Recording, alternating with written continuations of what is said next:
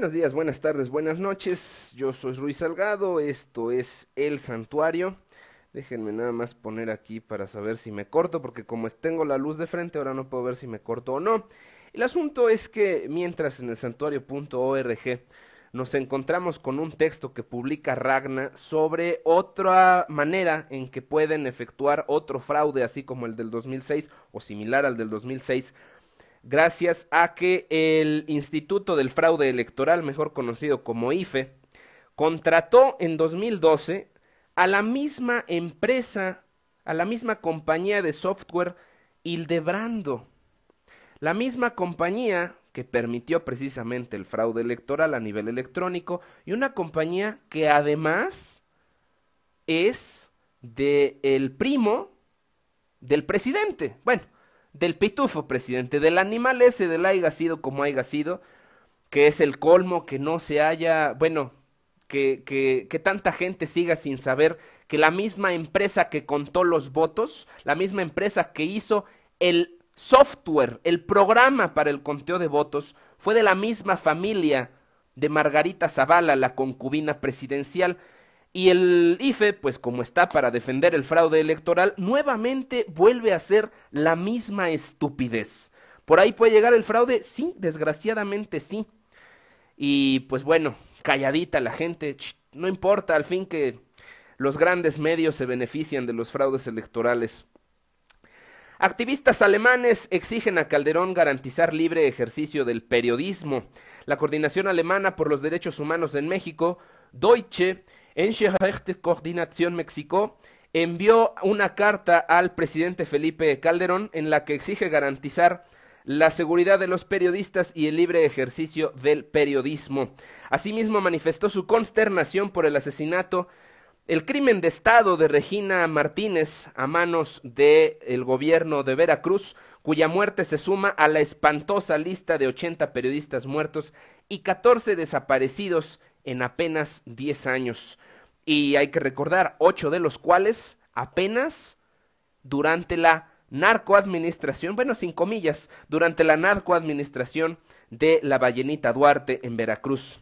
Esta red integrada por 15 organizaciones, entre ellas Amnistía Internacional, Centro Franciscano de Desarrollo y Misión, Departamento de Derechos Humanos, Diaconía Alemania, Iniciativa para México de Colonia y Bonn, Iniciative México o México, bueno, depende como lo quiera uno pronunciar, o obra episcopal Misereor, por cierto quiero ver si me veo, no quiero estarle hablando al aire, permítanme tantito.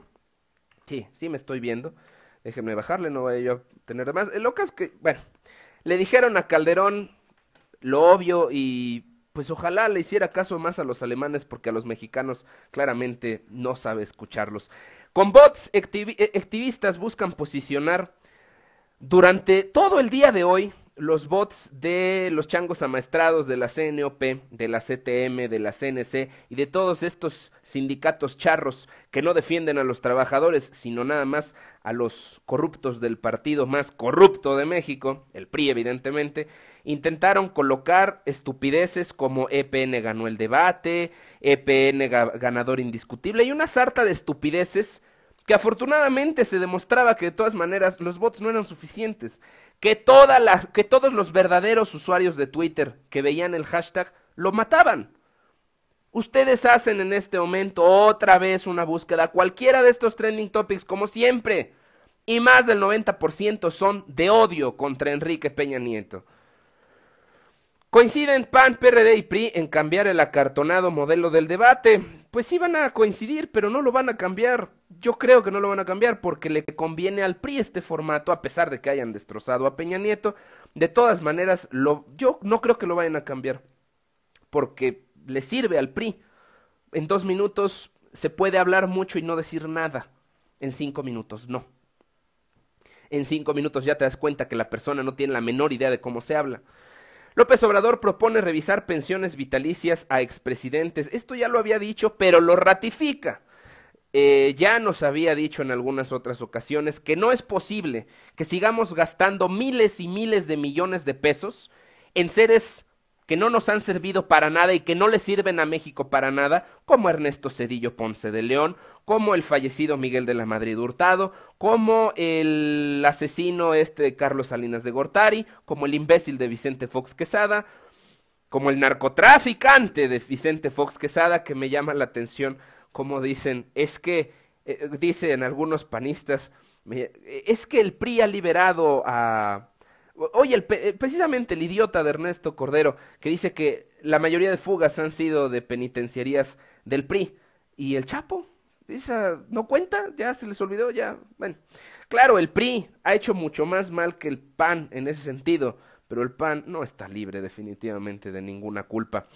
Refrenda Acción Nacional que Peña Nieto incumplió 123 de los 608 supuestos compromisos, 123 no los hizo. Y para cualquier imbécil que quisiera decirme, es que Peña sí cumple, vaya por favor a ver todos los días los 45 minutos hasta 90 minutos que se hacen en el puente de Vigas, que es una obra que si no la hubiera empezado de entrada, se hacían 15 minutos. Con la obra, como dejó, se multiplicó por 3 hasta por 10 veces la cantidad de tiempo que hace uno, un, que hace uno por cruzar esa obra que nunca se terminó. Si estuviera terminada habría carros, no hay carros, no se puede cruzar. Es una obra completamente absurda, como otras 123 que Acción Nacional saca a la luz. La Auditoría Superior de la Federación detecta un posible fraude de 400 mil millones de pesos en Pemex, una más que seguramente se va a ir impune. Aquí encontramos, bueno, gracias a Twitter, gracias a personas que nos lo hicieron llegar a Twitter, descubrimos un fraude de 69 mil millones de pesos en, en Zagarpa. Y es la hora que nadie nos hace caso, con los documentos del IFAI. Y nadie nos pela. Pues sí, no somos un medio de televisión, entonces pues la ley nada más está hecho para los medios de radio y televisión, pero afortunadamente el voto no, el voto está en base a la información y me parece que vamos muy bien. Déjenme le subo un poquito para saber si me escucho o me corto. Ok. Panistas ovacionan a López Obrador en el debate, una nota de hace rato que publicaba Librofil y Canón y que misteriosamente también lo publicó Milenio, raro en ellos. Pero bueno, mientras sea algo para denostar al PAN, también lo van a publicar. Wake Up San Petrilandia, siguiendo el rumbo de Cristina Sada Salinas. Esta activista, porque no nada más se le llama candidata, se le debe llamar activista, miembro de familias muy acomodadas en San Pedro, eh, que además ha tomado esta personalización de Cindy la Regia, en bueno, Cristi la Regia, Cindy la Regia por el, por el cómic, que a mí no me gusta, pero mucha gente le, simpatiza. Eh, chequen lo que sigue avanzando Cristina Sada para seguir despertando Nuevo León. ¿Por qué tampoco debemos votar por Cuadri? Sencillas razones. ¿Sabías que si votas por el imbécil de Cuadri, primero, no va a ganar siendo, no va a ganar, ¿qué? No va a ganar segundo. Ah, ok, es que no tiene comas. Primero, no va a ganar. Segundo, los únicos que se van a beneficiar son, evidentemente, la hija, el yerno, el nieto del Baester, además del Baester Gordillo directamente. Y si eso no fuera suficiente, también el hijo de Marta Sagún de Fox, que es de los integrantes y de los candidatos precisamente más importantes del partido Nueva Alianza por la vía plurinominal. Estos zánganos serán diputados y senadores si la gente tonta llega a votar inocente, ya ahí sí tonta no, porque desgraciadamente a eso le tiró Cuadri ayer, a engañar a los que están hartos de los políticos con una retórica muy absurda de no soy político, pero miren cómo quiero un cargo político y represento a la política más cerda que ha tenido este país.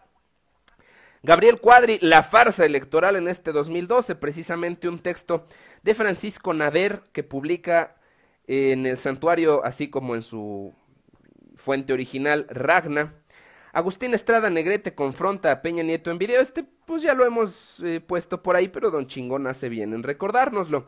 La columna santa que leíamos hace rato sobre el, pues lo absurdo que fue el, eh, la participación de Cuadri y lo que nos debemos, con lo que nos debemos de quedar en el debate.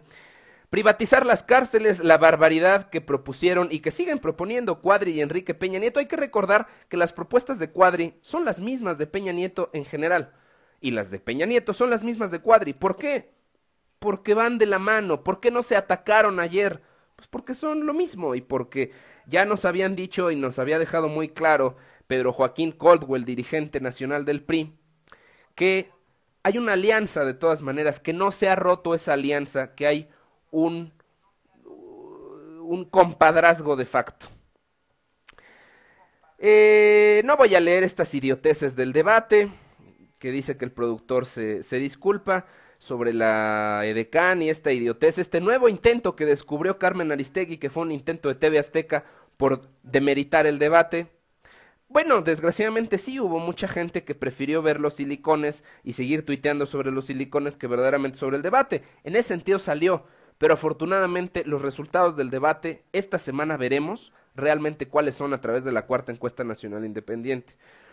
Pemex, los acomplejados contra el testimonio histórico, un texto del señor Mefistófeles Satanás que nos deja Ragna en el santuario sobre los peligros. Ayer platicamos de una manera muy sencilla. El peligro más, más yo estoy en contra de los monopolios, ya sean públicos o privados. Estoy en contra de Pemex realmente. Sin embargo, no podemos privatizar Pemex. Por una sencilla razón, Pemex sostiene al gobierno mexicano. No sostiene a México, sostiene al muy caro gobierno mexicano que no sirve para nada, pero de eso vive.